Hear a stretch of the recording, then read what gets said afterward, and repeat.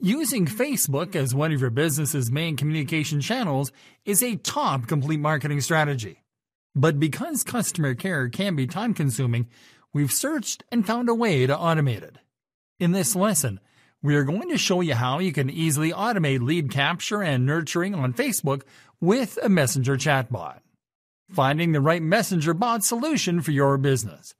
To use messenger chatbots, you first need to sign up to a good automation platform that offers chatbot integration.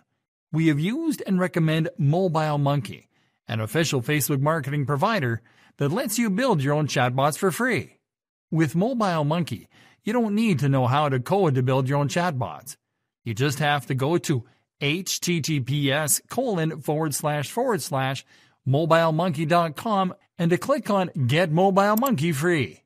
Then click on Get Started for free while logged into your Facebook account to connect to the service. Building a messenger chatbot. After connecting Mobile Monkey to your Facebook account, you will be asked to connect Mobile Monkey to the Facebook page where you will install your new messenger chatbot. Select the page where you'll install your new chatbot and click on Connect. Next, you can select the chatbot template. In this example, We'll skip selecting a template so we can show you how to edit your chatbot from scratch. Select Start from Scratch and then click on Let's do this. Now you will get access to the chatbot editor. The first thing you have to do is to customize and activate your chatbot. Click on the Settings tab on the left-hand menu. Enter a name for your Messenger chatbot in the chatbot name field. This is the name that users that send you Messenger messages will see in the Messenger window. Now click the lever button on the chatbot status column to activate your chatbot. You can click on the language menu to select a different language for your chatbot. Now click on the Bot Builder tab to go to the Chatbot Builder section. In this section, you can create chatbot dialogues. Chatbot dialogues are triggered according to what users type when they send messenger messages to your pages. There are two types of chatbot dialogues that you can create here. Dialogues are simple dialogues that you construct to engage users, such as welcome dialogues and dialogues designed to qualify leads. Q&A dialogues are triggered when users type messages or questions that contain specific keywords. You can construct Q&A dialogues by picking what type of dialogues are triggered by keywords that you choose. Start by creating a dialogue. Click on the Dialogues option.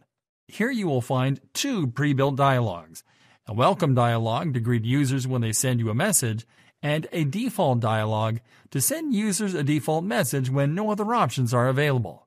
You can edit the messages in these dialogues to replace the default text with your own custom messages.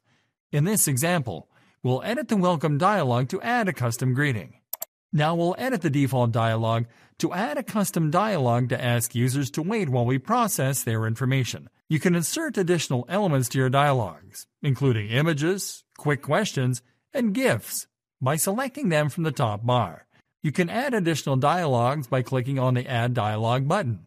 Let's create an additional dialog that will be triggered after users leave us a comment or question. Click on Add Dialog. Now enter the name of this dialog in the dialog name field. Now click on Create Dialog. Now select with what type of widget you'll open this dialog. In this example, we'll select Text to enter our message.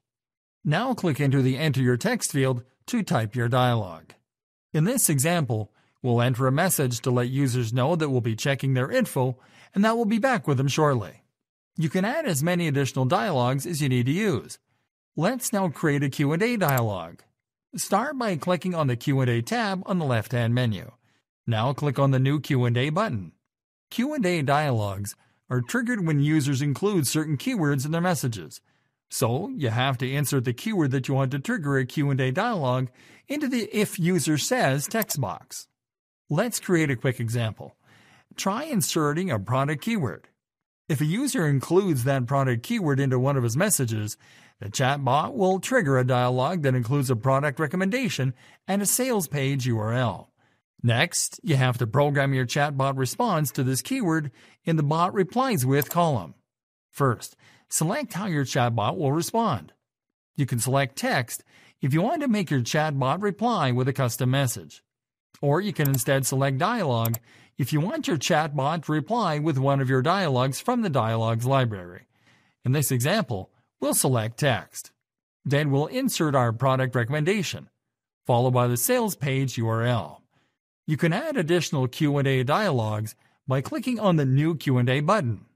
As you can see, automating customer care on Facebook as part of your complete internet marketing plan is easy.